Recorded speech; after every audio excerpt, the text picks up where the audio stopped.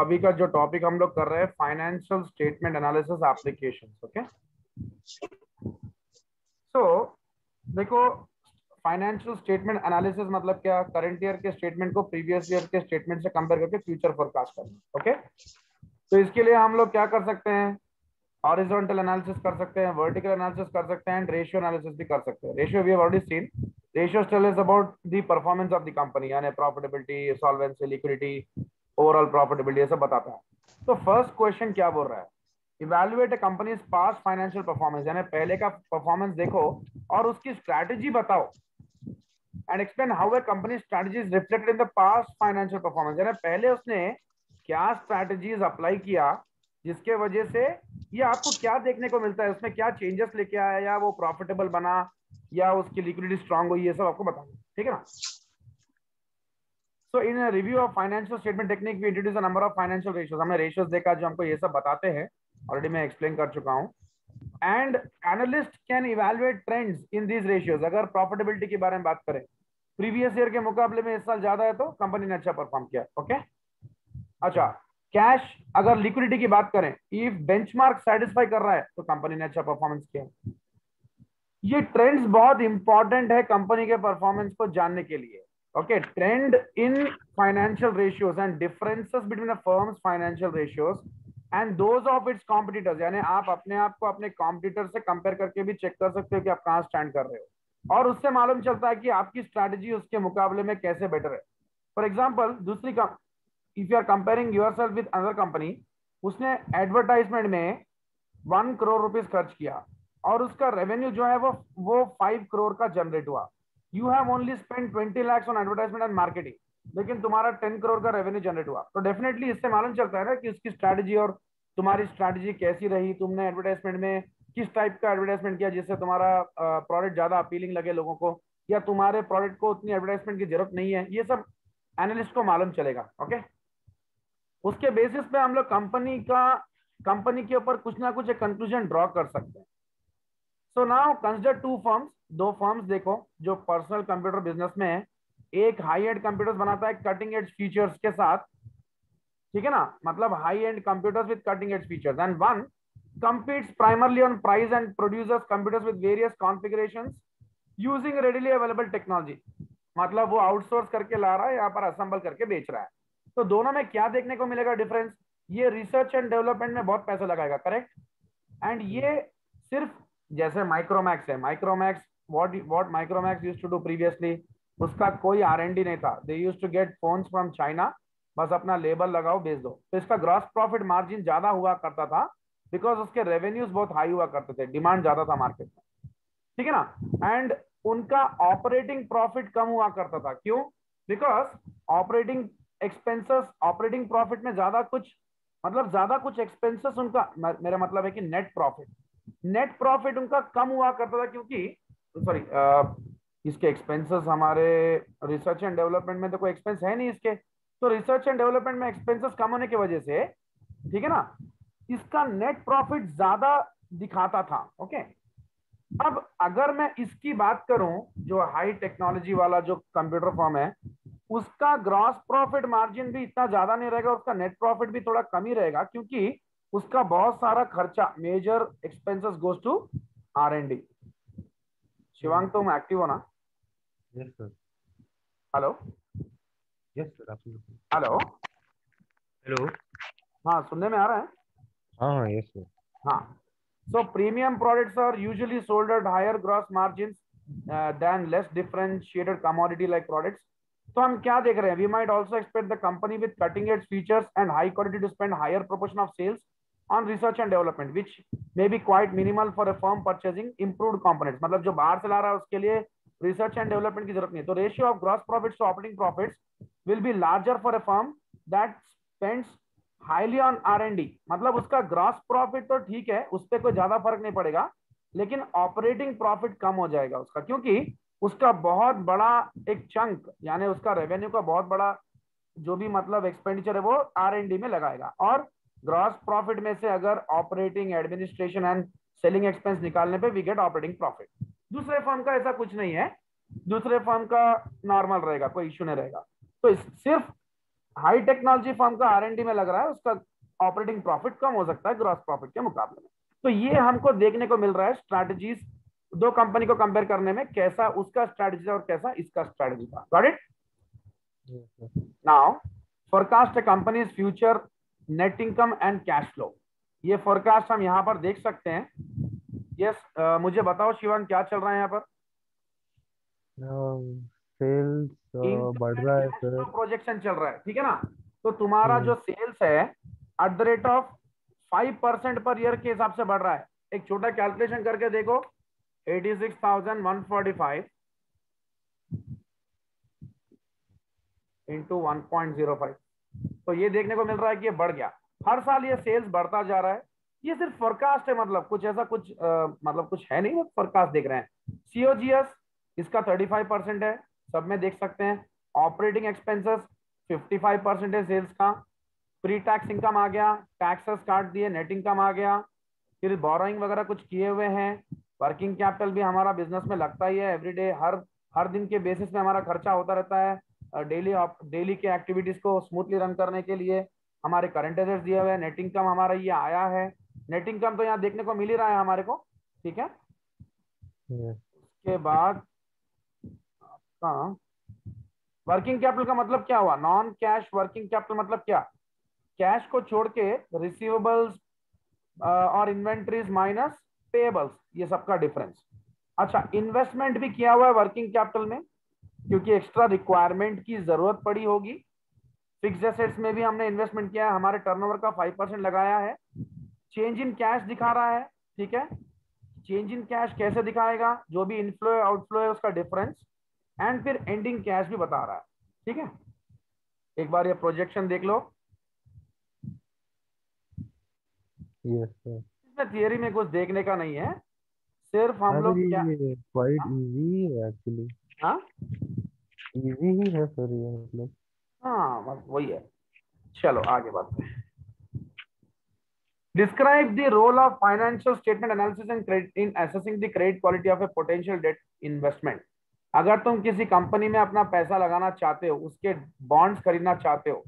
तो उसके बॉन्ड्स अगर तुमको खरीदना है तो तुम क्या कर सकते हो रेटिंग चेक कर सकते हो करेक्ट डेफिनेटली yes. तो वो एक इन्वेस्टमेंट ग्रेड ही होना चाहिए यानी rating agency Moody's and S N P तुमको रेटिंग बता देंगे so traditionally credit analyst have spoken of three Cs वो थ्री सीज फोर सीज और even five Cs of credit analysis तो ये थ्री सीज अगर हम देखें कैरेक्टर चेक करो यानी उसकी क्वालिटी कोलैटरल यानी उसके पीछे एसेट का बैकअप और उस कंपनी का कैपेसिटी क्या है रिपे करने का ये तीनों के बेसिस पर रेटिंग दी जाती है now the specific items use in the formula and their weights vary from industry see ये चैप्टर ये जो टॉपिक हम कर रहे हैं इसके बेसिस पे तुम्हारे पे एक चैप्टर भी है पूरा क्रेडिट रेटिंग्स के ऊपर वो हम लोग अभी एक आध दो दिन में खत्म करेंगे ठीक है सर ना पानी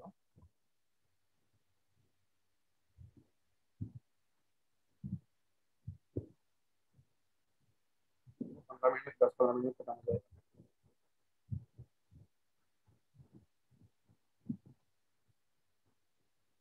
एक और कर ले इसके बाद आज क्या सर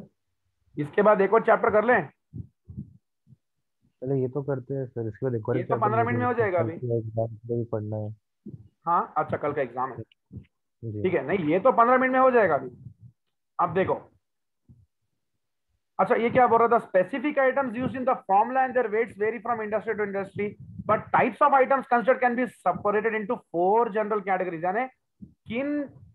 किन चीजों को कंसिडर करके तुम कोई चीज की रेटिंग्स दे सकते हो scale and diversification larger companies and those with wider variety of product lines and greater geographic diversification are better credit risk यानी बड़ी कंपनीज जो है वो थोड़ा उसमें रिस्क कम होता है क्योंकि बहुत डाइवर्सिफाइड होती है एक जगह नुकसान भी हो तो दूसरी जगह रिकवर कर लेती है ऑपरेशनल एफिशिएंसी के साथ काम करेंगे अच्छा मैनेजमेंट रहेगा इकोनॉमिक्स ऑफ स्केल रहेगा तो वो कंपनी में आपको उसकी रेटिंग्स अच्छी देखने को मिलेगी मार्जिन स्टेबिलिटी यानी जिसका प्रॉफिटेबिलिटी स्टेबल है काफी अच्छा रहेगा उसकी रेटिंग्स अच्छी रहेगी लेवरेज यानी रेशियोज ऑफ ऑपरेटिंग अर्निंग्स यानी अगर उनको कैपेसिटी है पे करने की सही है तो रेटिंग्स अच्छी मिल जाएगी हाँ अब अगर तुमको कोई इन्वेस्टमेंट करना है किसी कंपनी के अंदर में और उस कंपनी का ईपीडी खरीदना है तो फाइनेंशियल स्टेटमेंट एनालिसिस कैसे यूज कर सकते हो स्क्रीन करने के लिए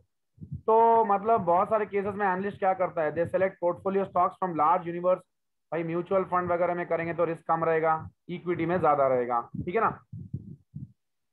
एक कंपनी के इक्विटी में अगर पैसा डालना है तो प्रॉफिटेबल है उसका अगर लेवरेज रेशियोज यानी उसका डेट थोड़ा इक्विटी के मुकाबले में कम होगा तो अच्छा होगा एंड प्रॉफिटेबल रहे तो अच्छा रहेगा सस्टेनेबल ग्रोथ दिखा रहा है तो अच्छा रहेगा प्राइस टू अर्निंग रेशियो उसकी हाई होनी चाहिए यानी उसका market price what is what is the formula for price to earning ratio Shivam sir price to earning market price of the market price of the share by EPS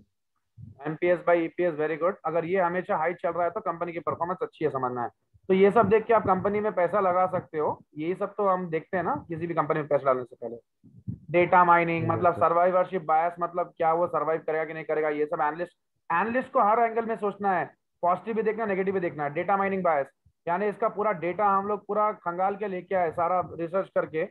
तो उसमें भी हमको ये देखना है कि डेटा जो है वो कितना अच्छा है या उसमें भी कोई कंफ्यूजन तो नहीं है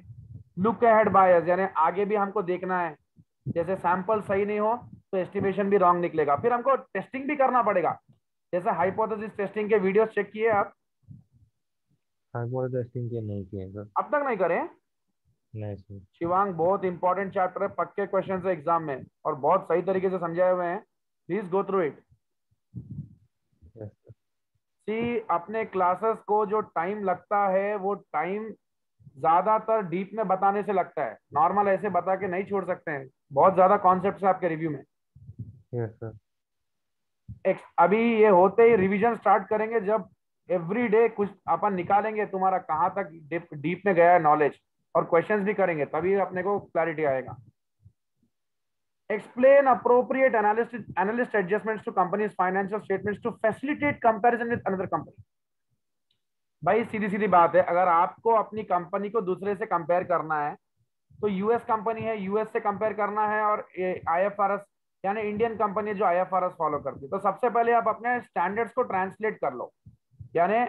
क्योंकि ये दोनों अलग अलग स्टैंडर्ड्स फॉलो करते हैं दोनों के ट्रीटमेंट्स अलग होंगे ठीक है दोनों के ट्रीटमेंट्स अलग होने की वजह से दोनों का कंपेरेबिलिटी मुश्किल हो जाएगा तो या तो आप इसके ट्रीटमेंट्स को उसके हिसाब से ट्रांसलेट करके कंपेयर कर लो या उसको इसके हिसाब से करके कंपेयर कर लो हाँ अगर एस फॉलो करने वाली कंट्रीज है तो कोई प्रॉब्लम ही नहीं है क्योंकि हर जगह सेम इक्वल स्टैंडर्ड्स रहते हैं ओके अच्छा क्योंकि स्टैंडर्ड्स अलग होने की वजह से डिप्रिसिएशन के ट्रीटमेंट्स अब जैसे एस में आपको पता है कि you don't have LIFO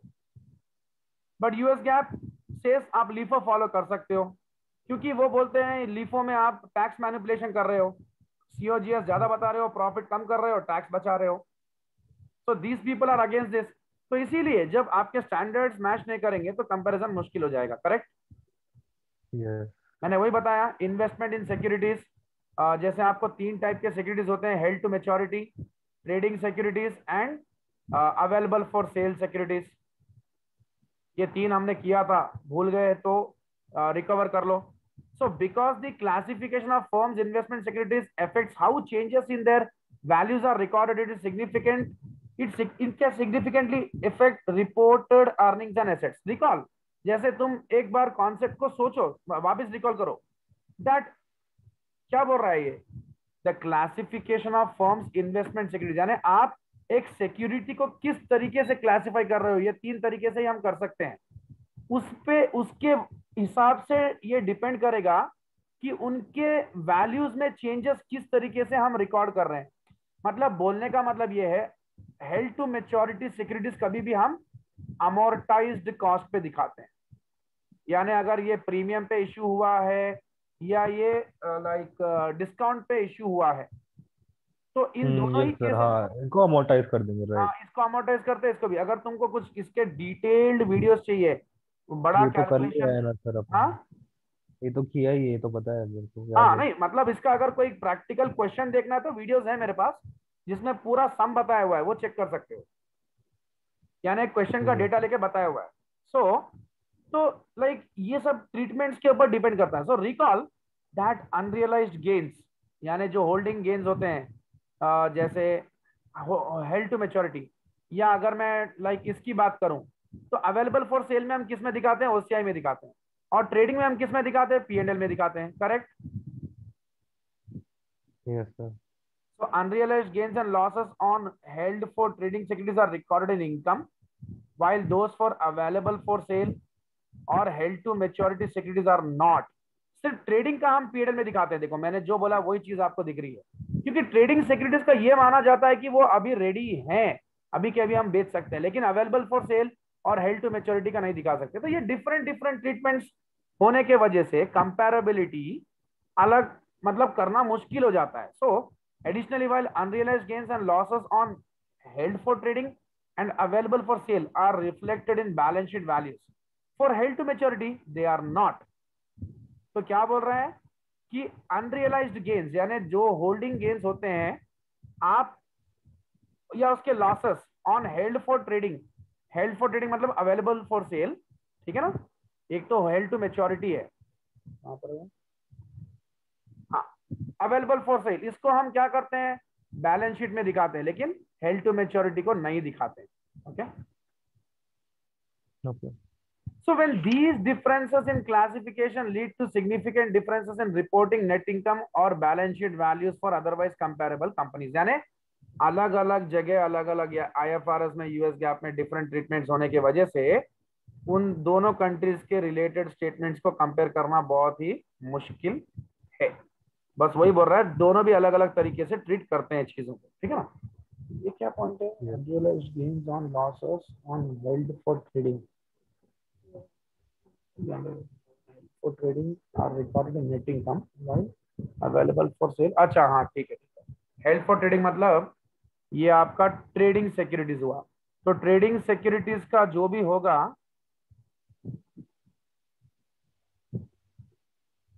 available for sale यानी अवेलेबल फॉर सेल या ट्रेडिंग का बैलेंस शीट में बताएंगे hold to held to maturity का नहीं बताएंगे मतलब उसको अमोटाइज कॉस्ट का दिखाते हैं हम लोग अच्छा सो नाउ हाँ देखो एक डिफरेंस बता रहा है आई और यूएस गैप में कंपेरेटिव स्टडी है accounting for investment securities is that I F R S unrealised gains and losses on available for sale debt securities that result from exchange rate fluctuation are recorded on the income statement because they are not recorded as income under US GAAP मतलब एक में income नहीं बता रहे हैं एक में बता रहे हैं that's it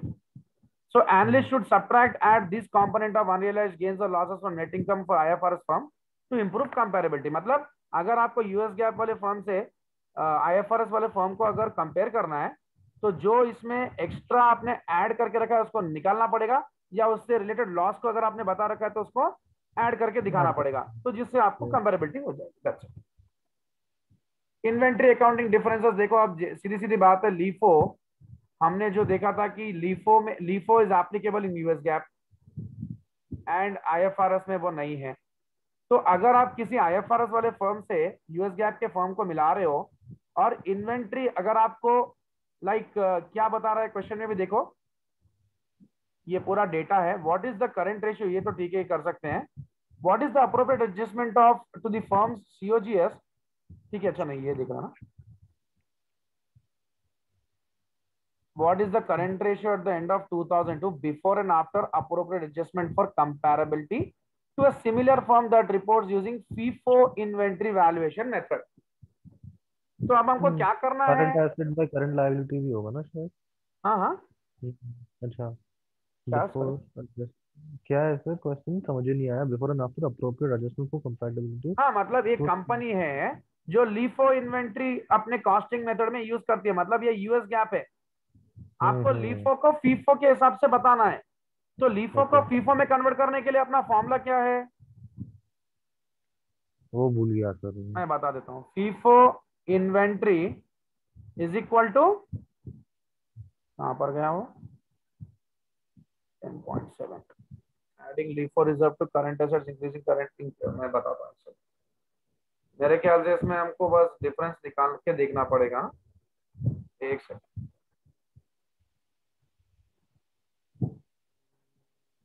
को हाँ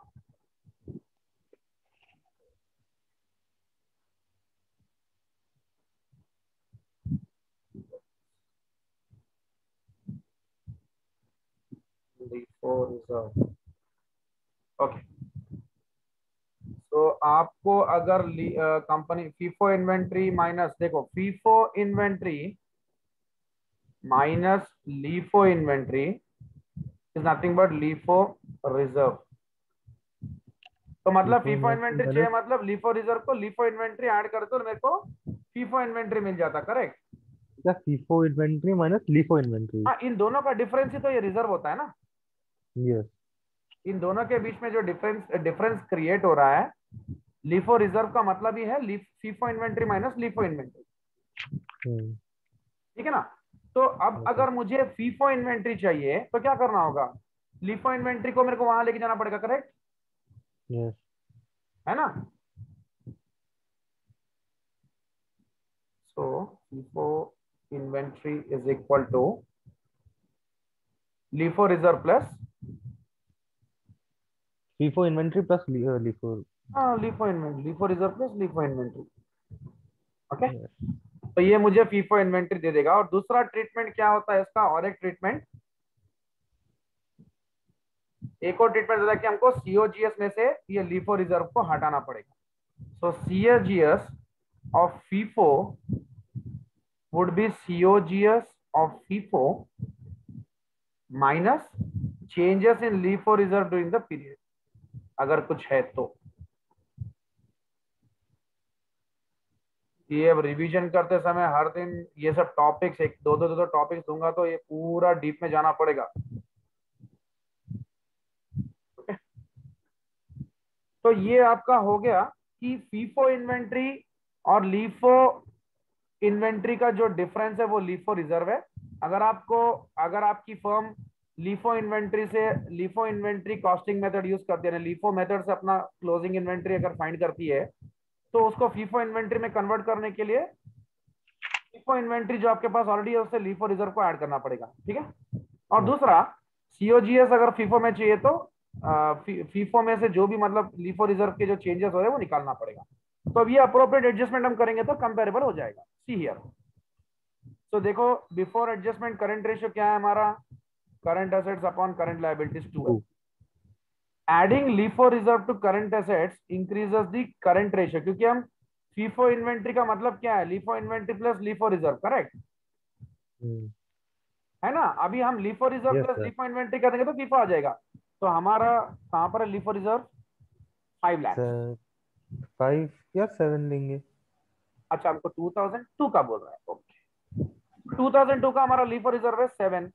चेंजेस हम लोग सीओजीएस में दिखाएंगे करेक्ट तो ये हमारा ten point seven by five two point one four हो गया और वही सीओजीएस में चेंजेस बताना है यानी वो फाइव और सेवन के बीच का ओपनिंग एंड क्लोजिंग रिजर्व के बीच का जो डिफरेंस है वो आपको सीओजीएस में एडजस्ट करना है तो ये टू लाख आप सीओजीएस में दिखा दोगे ओके रिड्यूस कर दो और ये जो डिप्रिसिएशन मेथड्स हैं और एस्टिमेट्स हैं इनके भी चेंजेस जो होते हैं उनको भी आपको सही तरीके से बताना है मतलब क्या है अब देखो अपना जो आईएफआरएस है इसमें स्ट्रेट लाइन मेथड और डिमिनिशिंग बैलेंस मेथड दोनों भी यूज कर सकते हैं लेकिन अगर आप यूएस गैप में देखो तो डबल डिक्लाइनिंग मेथड आएगा क्या आएगा double decline that is accelerated depreciation method यानी ये अगर हम दिखाएंगे तो हमारा क्या हो जाएगा हमारा प्रॉफिट कम हो जाएगा और टैक्सेस भी कम हो जाएगा ठीक है ना और हम्म। ये दिखाएंगे तो हमारा प्रॉफिट भी ज्यादा दिख के आएगा और टैक्सेस भी हम लोग ज्यादा पे करेंगे तो कंपनीज अपने हिसाब से काम करती है लेकिन अगर आपको वैसे से ऐसा लाना है तो ऑलरेडी मैं आपको जब रिपोर्टिंग का चैप्टर पढ़ाता था तो आपको बताया कि स्ट्रेट लाइन से डिमिनिशिंग को चेंज करेंगे तो रेट्रोस्पेक्टिव इफेक्ट देना है वो मैं बता चुका हूँ ऑलरेडी करेक्ट yes, और इसमें भी देखो फर्म्स जो है एग्रेसिव और कंजर्वेटिव अप्रोच दोनों लेके चलती है पिछले चैप्टर में एक कॉन्सेप्ट है वो बता दिया तो उसका भी थोड़ा कॉन्सेप्ट खत्म हो जाएगा क्योंकि ये पैराग्राफ में दिया हुआ है चैप्टर में या देखो अगर मैं बोलूं एग्रेसिव और कंजर्वेटिव अकाउंटिंग का बीच का डिफरेंस क्या है capitalising current period cost expensing यानी अगर आप कैपिटलाइज कर रहे हो मतलब बैलेंस शीट में दिखा रहे हो correct hello yes sir capitalize करने का मतलब क्या किसमें बता रहे हो सर उसमें बैलेंस शीट में बैलेंस शीट में एसेट्स को ऐड कर रहे हो एक्सपेंस मतलब पीएडएल हाँ। में दिखा रहे हो तो एक्सपेंसिंग करने से हमारा प्रॉफिट कम हो जाता है कैपिटलाइजिंग करने से हमारा प्रॉफिट ज्यादा दिख के आता है करंट सिनारियो में राइट right नाउ लेकिन फ्यूचर हाँ फ्यूचर हाँ, में क्या होगा फ्यूचर में कैपिटलाइज करने से प्रॉफिट कम होंगे और एक्सपेंस क्योंकि एक्सपेंस अभी पूरा दिखा दिए ना तो ये साल का प्रॉफिट कम होगा लेकिन फ्यूचर का ज्यादा दिख के आएगा करेक्ट हम्म। अभी जैसे फॉर एग्जाम्पल तुमने एक एसेट को दस लाख के एसेट को बैलेंस शीट में लिख दिया अब इसका डिप्रिसिएशन हर साल बताओगे ना दो दो लाख करके तो हर साल का प्रॉफिट दो दो लाख से कम होगा एक एग्जाम्पल बता रहा हूँ वही अगर पूरा एक्सपेंस एक साथ पी में डाल दिए तो वो साल का प्रॉफिट पूरा आपका बहुत ही कम हो जाएगा और टैक्सेस कम हो जाएंगे मैं ये नहीं बोल रहा हूँ कि आप एसेट को पी में डालो कुछ कुछ एक्सपेंसेस कैपिटलाइज नहीं करके वो लोग एक्सपेंस कर देते हैं okay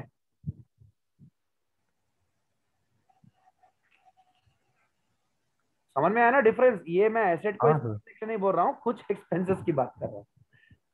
longer estimates of life of depreciable assets यानी अगर आप लंबा एस्टिमेट लगाते हो एग्रेसिव अकाउंटिंग यानी आप प्रॉफिट ज्यादा बताना चाह रहे हो यानी अपने इन्वेस्टर्स को अट्रैक्ट करना चाह रहे हो छोटे एस्टिमेट दिखाते हो तो डिप्रिशिएशन ज्यादा होता है प्रॉफिट कम आता है ओके ये कंजर्वेटिव अप्रोच सैलवेज वैल्यू ज्यादा बड़ा बताते हो आप आगे जाकर सैलवेज ज्यादा होगा ठीक है ना हायर एस्टिमेट्स मतलब सैलवेज वैल्यू मतलब हमारा अच्छा खासा डूब सकता है बोल के बता रहे हो आगे जाकर और ये लोअर बता रहे हो स्ट्रेट लाइन डिप्रिशिएशन से चलोगे तो हर साल आपका एक फिक्स अमाउंट कटेगा यहाँ पर जल्दी जल्दी कटेगा शुरुआत में बाद में बहुत कम हो जाएगा तो इसमें आपको प्रॉफिट हमेशा एक जैसे दिखते रहेंगे इसमें आपको शुरुआत में कम प्रॉफिट और बाद में ज्यादा प्रॉफिट दिख के आएगा अच्छा इम्पेयरमेंट्स वगैरह बहुत बाद में जाके बता रहे हो तो प्रॉफिट्स बाद में जाके कम होंगे अभी तो अच्छे दिख रहे हैं इसमें अभी से प्रॉफिट्स को आप ठीक ठाक मतलब करेक्ट तरीके से दिखाने की कोशिश कर रहे हो अभी से इंपेयरमेंट बता रहे तो प्रॉफिट कम ही हो जाएंगे less accrual of reserve for like bad less accrual of reserve मतलब कम आप एस्टिमेट्स कम करके दिखाते हो ज्यादा करके दिखाते हो ठीक है ना hmm. अगर ज्यादा बड़ा एस्टिमेट दिखा है तो एक्सपेंस ज्यादा बड़ा दिखेगा कम दिखेगा यहाँ पर and smaller valuation allowances for deferred taxes यहाँ पर भी इस पॉइंट को छोड़ दो क्योंकि ये अभी हम लोग जब नेक्स्ट चैप्टर हमारा वही टारगेट है इनकम टैक्स अकाउंटिंग तब करेंगे जब बता दो अभी कुछ समझ में नहीं आएगा इसके ये दोनों ये ये और वो हो गया तो बस लास्ट चैप्टर ही है वो सर ये सब कुछ भी नहीं है लेकिन मेरे बुक में हाँ ये सब कुछ भी नहीं है मेरे बुक में क्या ये पिछला चैप्टर हाँ। है बॉस अच्छा पहले के चैप्टर हाँ। को लाके हाँ मैं अग्रेसिव क्योंकि अपने को इसमें टॉपिक है अग्रेसिव अकाउंटिंग और वो बोल के वो एक बार दिखा दिया कल वो तो नहीं करेंगे कवर हो हाँ, जाएगा वो हाँ। चलो ऑलमोस्ट यहाँ तो खत्म हो गया हमारा हाँ अब हम आ रहे हैं लास्ट टॉपिक पे off balance sheet financing off balance sheet financing मतलब क्या ऑपरेटिंग लीज जो है आपको उसको बैलेंस शीट में दिखाने की जरूरत नहीं होती है सिर्फ उसको आप पीएनएल में दिखाते हो तो ये पॉइंट्स पढ़ते हैं क्योंकि लीजिंग के बारे में हमने चैप्टर कुछ किया नहीं है अभी तक ठीक है तो छोटा डिस्कशन हम्म। करते हैं बस उसके बाद खत्म ही है चैप्टर तो पहले मैं बता दूं लीज दो टाइप की आपको पता ही है फाइनेंस लीज और ऑपरेटिंग लीज और ये जो होता है सेल परचेज एग्रीमेंट जैसा होता है और इसमें आप एसेट उसके मेच्योरिटी पर आप परचेज कर सकते हो ऑपरेटिंग लीज सिर्फ आपको मंथली रेंटल पे करना है और अपना एसेट को यूज करना है इसमें जो कुछ भी है नफा नुकसान आपका लुकआउट है यहाँ पर जो भी आप जिससे भी ले रहे हो वो उसको ही बेयर करना पड़ेगा ठीक है अब देखें डेट रेशियोस यानी जो भी आप एक डेट रेशियो फाइंड करते हो डेट टू इक्विटी या जो भी टाइप का should include liabilities both capital and finance lease and operating leases यानी एक डेट रेशियो है आप लोग को तो इसमें उतना ज्यादा मतलब दो तीन रेशियो कवर किया है तो वहां पर include liabilities for both capital leases and ये लीज पेबल होता है आपके लिए ये भी So firms include the estimated present value of future capital lease payments with their financials. मतलब क्या करते हैं अगर आपको जो भी फ्यूचर में लीज पेमेंट देना है उसका आज की डेट हम्म, में future present value present value क्या निकालते हैं वो भी एक डिस्काउंट फैक्टर है वो जो सपोज वही अगर आप कहीं से फाइनेंस पे पैसा लेके आके वो एसेट खरीदे तो डिस्काउंट फैक्टर लगा के all the firms must report payments due under operating leases each year for five years and total beyond five years. ठीक है ना तो firms must report payments due under मतलब ऑपरेटिंग लीज में भी आपको एक लाइबिलिटी होती है तो वो आपको पे करना होता है लेकिन उसका प्रेजेंट वैल्यू वगैरह निकालते नहीं है जरूरत नहीं है to estimate the present value of operating lease liabilities an analyst can use ratio of the present value of capital lease obligations to the sum of these future payments or make some assumption about the timing of operating lease payments before beyond 5 years and calculate a discount rate to use when calculating the present value of operating lease payments. तो ye kya kya bol raha hai ki agar aapko present value chahiye aapke operating lease liability ka analyst kya kar sakta hai ratio of present value of capital lease obligations to sum of these future payments मतलब आपका total operating lease payment क्या होगा आप उसका एक ratio निकाल रहे हो किसके साथ present value of future payment of finance lease और कैपिटल लीज ठीक है ना एक फैक्टर मिलेगा नहीं तो आप दूसरा भी काम कर सकते हो एक्चुअली ये आप लोग को नहीं है वैसा ज्यादातर ये आपको लीजिंग लीजिंग नहीं है आपके सिलेबस में हटा दिया ना हम्म शायद पता नहीं है तो नहीं, नहीं उस दिन हम लोग मालूम फाइनेंसिंग भी ये इसमें नहीं है ये है टॉपिक नहीं है नहीं है ना नहीं शिवांग मेरे को सुनने में नहीं आया सॉरी नहीं है फिर नहीं है हाँ तो फिर ये मैं इसीलिए क्योंकि पूछ रहा हूँ क्योंकि लीजिंग आप लोग को सिलेबस में नहीं है तो लीजिंग नहीं है तो ये भी नहीं रहेगा फिर आई थिंक वो लेवल हाँ, टू में डाल दिया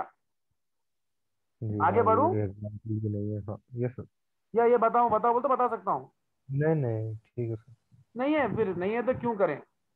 यस गुडविल है गुडविल और अदर इंटैंजिबल एसेट्स हाँ अब गुडविल का भी देखो क्या है two companies with identical assets but where one has grown through acquisition of some business units while other has grown internally मतलब आप देखो एक इंटरनली जनरेटेड गुडविल की बात है इंटरनली जनरेटेड गुडविल को तो बताना ही नहीं है सिर्फ और सिर्फ आपको क्या करना है कोई दूसरा बिजनेस अक्वायर करते हैं तो उसका जो भी आप पेमेंट करते हो 120 किया उसका वैल्यू 100 है तो 20 एक्स्ट्रा को गुडविल बता सकते हो जी so but uh, like two companies with identical assets but where uh, one has grown एक तो क्या है किसी दूसरी कंपनी को acquire करके बड़ा है और दूसरा internally बड़ा है खुद के research and development के ऊपर ठीक है ना will show different balance sheet values for same assets for company that has grown through acquisition tangible assets of the acquired units will be recorded at fair value as of the acquisition date rather than historical cost net of accumulated depreciation तो मतलब अगर आप किसी company को acquire कर रहे हो तो अक्वायर कर रहे हो तो उसके सारे के सारे टैंजेबल एसेट्स खरीद रहे हो उसके टैंजेबल एसेट्स को आप किस पे दिखाओगे उसके फेयर वैल्यू पे यानी उसका मार्केट हाँ, हाँ, उसका मार्केट वैल्यू ही आपका कॉस्ट है करेक्ट और फिर आप एक्यूमुलेटेड डिप्रिशिएशन निकाल के उसका कैरिंग अमाउंट लिख दोगे अच्छा इनटेंजेबल एसेट्स को भी ऐसी करोगे आप आइडेंटिफाइबल आइडेंटिफाइबल मतलब जो बेचकर आप पैसा आज की आज कमा सकते हो गुडविल नहीं हो सकता वो गुडविल को बेच नहीं सकते बिजनेस के साथ ही जाता है वो सपरेबल नहीं है बिजनेस पेटेंट हाँ पेटेंट के जो कमा रहे हो so intangible assets of requirements will be valued at their acquisition cost जितने में वही फेयर वैल्यू जितने में आपने खरीदा है जितने में आपको पड़ा है उतने में rather than not being included in the balance sheet assets इसको बताना पड़ेगा अच्छा गुडविल हम्म। जो भी एक्सेस होगा वो बता दोगे that's it so two adjustments are typically made of goodwill to improve comparability in such a case First, goodwill should be subtracted from assets when calculating financial ratios. Second any income statement expense from impairment of goodwill जैसे मतलब क्या है goodwill तो आप बता दिए assets minus liabilities करके वो कंपनी का जो भी आपका एसेट्स माइनस लाइबिलिटीज उसका हुआ वो बोला आपको कि मेरा एक लाख का पेमेंट होता है आपने वन दिया गुडविल बता दिया और उसका इंपेयरमेंट जो भी है वो इनकम स्टेटमेंट में दिखा दिया so two adjustments are typically made to goodwill to improve comparability in such a case first goodwill should be subtracted from assets when calculating financial ratios यानी इसको नहीं लेना है आपको okay. पहला केस में second any income statement expense जो भी इंपेयरमेंट उसका होता है in current period should be reverse अगर उसको आप बैलेंस शीट में रेशियोज कैलकुलेट करने के लिए उसको निकाल दे रहे हो तो उसका इंपेयरमेंट भी लेने की जरूरत नहीं होगी ठीक है भाई अगर जब गुडविल नाम की चीज को आप ले ही नहीं रहे हो तो उससे रिलेटेड इंपेयरमेंट हम्म। भी कैसे ले सकते हो नहीं लेना है ना yes, हाँ. Ah, so in calculating price to book value of equity share, an analyst can remove goodwill from assets and recalculate a lower adjusted book value. matlab nikal sakta hai rather in a price to adjusted book ratio, book value ratio that is greater. so agar aapko price to book value, price to uh, earnings to pata hai na price to book value ratio. अगर आपको book value निकालना है, uh, like of EPS, ठीक है ना price to book value of equity per share analyst क्या कर सकता है गुडविल को हटा के फाइंड कर सकता है ठीक है ना तो उसको जब गुडविल को हटाएगा तो हम क्या बोलेंगे उसको एडजस्टेड बुक वैल्यू तो वो जब गुडविल हटाएगा तो बुक वैल्यू कम हो जाएगी करेक्ट और रॉन्ग अगर गुडविल को हटाएगा तो आपकी बुक वैल्यू तो कम हो जाएगी ना और बुक वैल्यू आपकी किसमें आ रही हाँ, है डिनोमिनेटर में आ रही है डिनोमिनेटर अगर बुक वैल्यू कम हो जाएगा तो रेशियो बढ़ जाएगा दैट्स इट अच्छा last and final point other intangible assets additional adjustment adjustment may be required for ifrs firms that revalue intangible assets upward आपको पता है कि आईएफआरएस फर्म्स ऊपर अपवर्ड रिवैल्यूएशन बता सकते हैं उनको ये बताने का सिस्टम है यूएस गैप में नहीं होता ऐसा यूएस हम्म। गैप में अपवर्ड नहीं है सिर्फ डाउनवर्ड है खाली आप इंपेयरमेंट लॉस बता सकते हो ओके तो तो ये रिवैल्युएशन करके अगर आप अगर आप आईएफआरएस में बता रहे हो तो वो इक्विटी में चले जाता क्योंकि ये जो रिवैल्युएशन गेन है वो किस में जाएगा ओसीआई ओसीआई से किस में जाएगा इक्विटी जी so as revaluation that do not reverse previously reported impairment are taken directly to equity यानी जो आपने रिवैल्यूएशन करा था और उससे आपकी वैल्यू हाई हुई थी अब वो नीचे नहीं हो रही है यानी रिवर्स नहीं हो रही है ठीक है ना कई बार भाई ऊपर भी जा सकता है नीचे भी आ सकता है करेक्ट हो reported impairment are taken directly to equity मतलब फिर क्या कर सकते हो उस केस में रिवर्स नहीं हो रहा है तो आप इम्पेयरमेंट लॉस को ले सकते हो इक्विटी में ठीक है ना मतलब उतने से गिर गया बोलते करेक्ट और रॉन्ग पहले हम्म। मैंने रिवैल्यू किया तो ज्यादा हुआ फिर अभी कम हो गया तो ये सिस्टम जो है ना ये जो भी बता रहा है आपको revaluation that do not reverse यानी यूएस गैप में आपका ये रिवर्सल रिवर्सल नहीं होता है देखो हम्म। शिवांग अगर आप आईएफआरएस फॉलो कर रहे हो यूएस गैप फॉलो कर रहे हो आईएफआरएस में अपवर्ड भी जाएगा और डाउनवर्ड भी दोनों का भी ट्रीटमेंट है और एक बार अपवर्ड जाके फिर डाउनवर्ड हुआ इसको बोलते हैं रिवर्सल ऑफ अपवर्ड रिवैल्यूएशन ये भी आप इसमें दिखा सकते हो आपको ये दिखाने का इसमें रूल्स है बट यूएस गैप में हम्म। ये रिवर्सल रिवर्सल आता ही नहीं है सिर्फ और सिर्फ डाउनवर्ड बताना है करेक्ट ओके तो अगर आप यूएस गैप में दिखाना चाह रहे हो आईएफआरएस से तो वो ये बोल रहे हैं कि ऊपर लेके जाके नीचे नहीं लेके जा सकते सिर्फ नीचे ही दिखा दो बोल रहा है बस उतना ही है अच्छा तो ऊपर नहीं जाना बता रहे ऊपर जा ही नहीं सकते उसमें अपवर्ड रिवैल्यूएशन को वो लोग मानते नहीं है वो बोलते हैं एसेट ऊपर नहीं जाएगा क्योंकि वो हम्म। जबरदस्ती एसेट के वैल्यू को इन्फ्लेट करना हुआ ओके क्योंकि हम्म। कोई भी कितना भी वैल्यू बता देगा मार्केट में इतना मिल रहा है बोल के यूएस गैप बोलता है कि नीचे हाँ उसकी वैल्यू कम हो रही है तो क्योंकि इंटेंजिबल एसेट्स क्या हाँ हाँ ये खाली इंटेंजिबल एसेट्स के लिए है नहीं टैंजिबल इंटेंजिबल दोनों के लिए भी डाउनवर्ड रिवर्सल नहीं चलता यूएस गैप में अच्छा तो लेकिन अगर ऊपर जाता है लैंड का वैल्यू है किसी का तो मैं क्या बोल रहा हूँ दोनों भी डिफरेंट स्कूल ऑफ थॉट है ना यूएस गैप हाँ। में सिर्फ नीचे जाने का बताया जाएगा आईएफआरएस में ऊपर भी और नीचे भी गिर मतलब एक केस में ऊपर जा सकता है एक केस में नीचे आ सकता है एक केस में ऊपर जाके फिर नीचे आ सकता है तो इसको रिवर्सल बोलते हैं ये आईएफआरएस में रिकॉर्ड करने का सिस्टम है तुमको चाहिए तो मेरे हाँ। पास छह सात वीडियो से मैं भिजाता हूँ पूरे जर्नल एंट्रीज के साथ समझा हुआ तुम चेक कर सकते हो तुमको इसकी नॉलेज आ जाएगी ओके ओके मैं सिर्फ आई एफ आर एस की बात कर रहा हूँ यूएस गैप पे वो ट्रीटमेंट ही नहीं है तो इसलिए हमने कोई वीडियोस बनाया ही नहीं है उसके ऊपर ओके अच्छा ये तो सेम ही पॉइंट है मतलब price to tangible book value अगर गुडविल को हटा दिए बोलते तो वही रेशियो बढ़ जाता डिनोमिनेटर में hmm. अच्छा analyst should also note that Firm's pre and post acquisition financial statements may lack comparability when the acquisition method is used. The acquisition method combines acha acquisition pe different different methods hote hain theek hai na hmm. firm alag method use karta hai ek acquisition ek merger merger isliye different different tarike se dekha jata hai so the yes. acquisition method combines fair value estimates of identifiable assets with historical asset costs on the balance sheet and adds the earnings of the purchase firm with no restatement of prior results मतलब मैं समझाता हूँ क्या बोल रहा है analyst को ये नोट करना चाहिए कि that a firm's pre and post acquisition यानी अक्वायर करने से पहले के स्टेटमेंट्स एंड अक्वायर करने के बाद का जो फाइनेंशियल स्टेटमेंट है इसमें कंपैरिजन हम्म। करना बड़ा मुश्किल हो जाएगा ठीक है ना yes हाँ मतलब because of the the acquisition acquisition method की वजह से so the acquisition method combines fair value estimates of identifiable assets जो भी मतलब आप बेच के कमा सकते हो उसको identifiable assets बोलते हैं क्योंकि fair value estimates हर मतलब अलग अलग तरीके से फेयर वैल्यू बताएंगे वो हिस्टोरिकल कॉस्ट देखो ये फर्म जैसे एक कंपनी ने बी कंपनी को खरीदा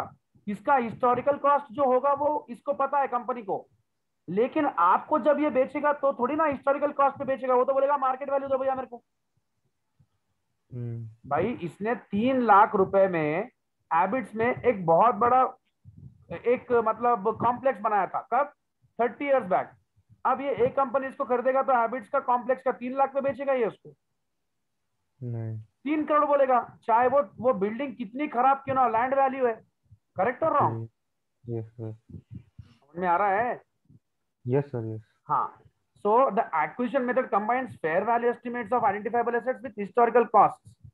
Hmm. मतलब ये combine hmm. करते हैं on balance sheet and adds earnings of purchase firm with no restatement of prior results. पहले के, पहले के रिजल्ट्स को कुछ भी रिस्टेटमेंट नहीं करेंगे इसको अक्वायर करने के बाद अब नए तरीके से अर्निंग्स बताएंगे ओके okay. सात मतलब अब ये कंपनीज दोनों एक हो गए ना अब कम अब दोनों की कंबाइंड अर्निंग्स मतलब ये इसकी कंपनी हो गई जो भी है मतलब ये मैं कंसोलिडेशन की बात कर रहा हूँ अब दोनों की कंबाइंड अर्निंग्स रहेगी दैट्स इट ओके तो ये हो गया कल फिर ये क्या बोलते हैं ये इकोनॉमिक्स का मैं क्या उसके साथ करा करके वीडियो दे दूं तुम्हारे को हाँ सर अभी मैं भिजाया हूँ इंटरेस्ट रेट पैरिटी वगैरह का वीडियोस भिजाया हूँ हाँ सर मेरे को अभी ये क्लास के बाद वो भेज दीजिए ना एथिक्स का हाँ ठीक है मैं एथिक्स भिजा देता हूँ वो मैं कैसे भी अभी भिजा रहा हूँ मैं भिजा एथिक्स पूरे भेज देता हूँ तुम्हारे पास हाँ। अभी एक और चैप्टर करना है नहीं सर अभी मेरे को दूसरी पढ़ाई कल की पढ़ाई करनी है अच्छा फिर कल से पर कल करेक्ट एट ओ क्लॉक ठीक है ना यस हाँ कल ये चैप्टर फिनिश कर दूंगा इससे पहले वाला फिर इनकम टैक्सेस करेंगे नेक्स्ट क्लास में okay sir Okay, Shivang. Okay, bye. Oh, take care. So good night. Bye. Good night.